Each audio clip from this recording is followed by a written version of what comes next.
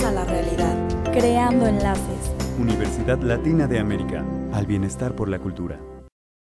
Los 69 trabajadores que fueron despedidos de la Auditoría Superior del Estado se manifestaron este jueves frente a la sede del Congreso de Michoacán para exigir su reinstalación en los puestos que ostentaron durante varios años. En este momento, puesto que no hemos tenido ninguna audiencia, ningún acercamiento por parte de los diputados, venimos a manifestarnos para buscar el diálogo y sobre todo buscar la reinstalación de nuestros compañeros. El coordinador de la bancada panista, Alfonso Martínez, argumentó que en el Congreso se trabaja con exceso de personal, por eso se tomó tal medida. Se hizo conforme a la ley que pues ellos pueden acudir a las instancias legales eh, para poder hacer algún reclamo y realmente nosotros eh, lamentablemente tuvimos que tomar esas decisiones.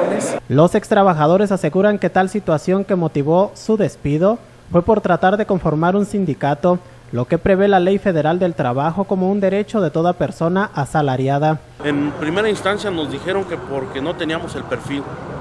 Y la verdad, por lo que nos despidieron es que el 12 de diciembre nosotros ante, el Tribunal de Conciliación y Arbitraje este, registramos el sindicato independiente de empleados del Poder Legislativo, cosa que todavía no ha sido, no ha sido este, no ha sido otorgado o negado puesto que está en la vía judicial. Los manifestantes se retiraron alrededor de las 14 horas al ver que no serían atendidos por alguno de los legisladores. Sin embargo, dijeron que sus acciones seguirán hasta que les regresen sus puestos. Para Cuasar TV, Miguel Ángel Sánchez,